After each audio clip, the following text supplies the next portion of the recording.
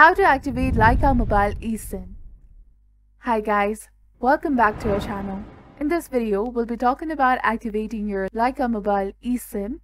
So an eSIM is a handy SIM card built directly into your phone. Unlike the traditional plastic SIM cards, the eSIM stores all of the data needed for your device to connect to the Lycamobile network, so you don't have to insert or remove anything from your phone. To get and install your eSIM, the first thing you have to do is to go to the official website and look for the plan that suits your needs.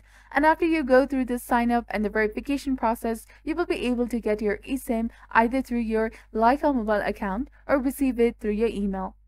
So talking about setting up your eSIM, getting an eSIM at Lycamobile store in the UK is quick and easy. Trained sales associates will guide you through the process. You need to have the eSIM compatible phone credit or debit card for the payment, and follow the stop instructions. To install your eSIM, check your device compatibility.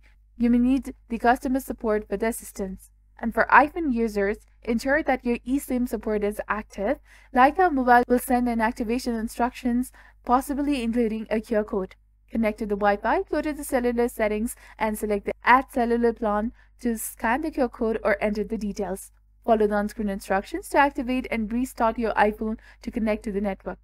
And for the Android, confirm the eSIM compatibility and connect to the Wi-Fi and go to the network and internet settings to add the eSIM and follow the Lycamobile's instructions to scan the QR code or to enter the details.